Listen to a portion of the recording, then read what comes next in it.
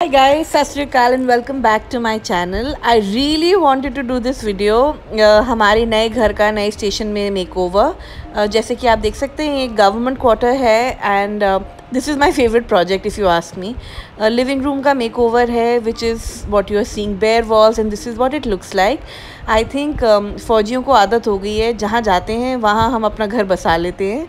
And I want just show you today how मेरा वही existing सामान जो मैं अपनी हर वीडियोज़ में लगाती हूँ। एंड मे बी दो तीन एडिशन्स मैं कर लेती हूँ हर स्टेशन में।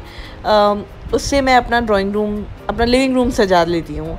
So I wanted to show you and give you ideas and how you can transform your house you know in different unique ways आप देख सकते हैं ये वॉल थी मुझे बिल्कुल नहीं पसंद थी ना मुझे समझ आ रहा था इसमें क्या लगाऊँ। तो मैंने उसमें एक वुडन बोर्ड फिट करके पुट्टी करके उसके ऊपर अपनी पेंटिंग लगा दी।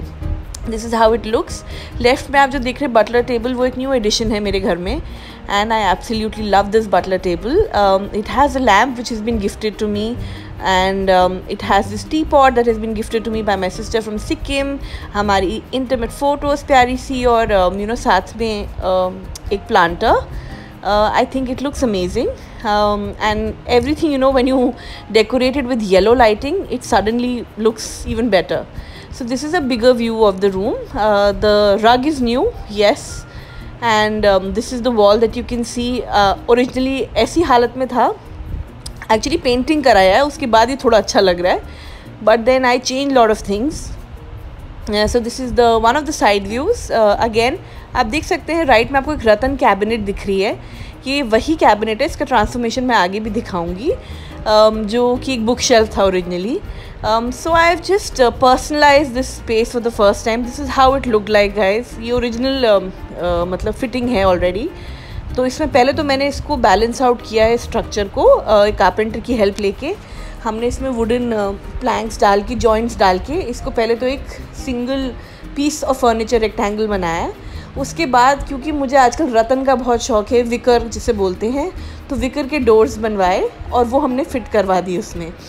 So this is how it looks अभी मुझे लग रहा है मुझे यहाँ पे एक मार्शल uh, का स्पीकर लगाना पड़ेगा। You know that something that I want to add next I have this candle stand from west side a photo of my husband and his parents and a lamp and planter and I think it looks really nice. So uh, इसी के साथ मैंने side में vicar chair रखी है with two cushions and a planter this makes it a very intimate reading corner and you can see the non-glam transformation from that to this i've added photos it's a reading corner it's also a very personalized uh, space मैं अपनी videos भी shoot करती हूँ उस corner में मुझे बहुत अच्छी प्यारी लगती हैं सो अगेन अनदर लैम्प ये लैम्प आपने मेरे सारे घरों में देखा होगा प्रीवियस स्टेशन में भी, यहाँ पे भी. This is a porcelain lamp so it's very very beautiful again जो मैंने प्लांटर बनाया हुआ है वो भी मुझे गिफ्ट मिला था from a dear friend Richa it's a fruit bowl उसके अंदर मैंने मनी प्लांट का पूरा सेटअप लगा के I have put it and I think it looks really nice in this corner so this is how you know this one corner has been tackled and I really want to tell you guys you can get creative with plants and just setting up a few spaces आप ये wall देख रहे हैं, ये entry के साथ की wall है। And I was so clueless मैं इसमें क्या करूँ बट देन मैंने एक फ्लोटिंग शेल्फ लगाया क्योंकि मैं अपने हर घर में फ्लोटिंग शेल्फ लगाती हूँ। उसके साथ हमने ये फर्नीचर पीसेज ऐड करे। इस बार we have gone for bright colours because मुझे हर बार लगता है मेरा घर थोड़ा डल और फीका है। But it's a nice rusty orange and उसी के साथ कॉम्प्लीमेंटिंग फ्रेम्स लगाए हैं मैंने ऊपर।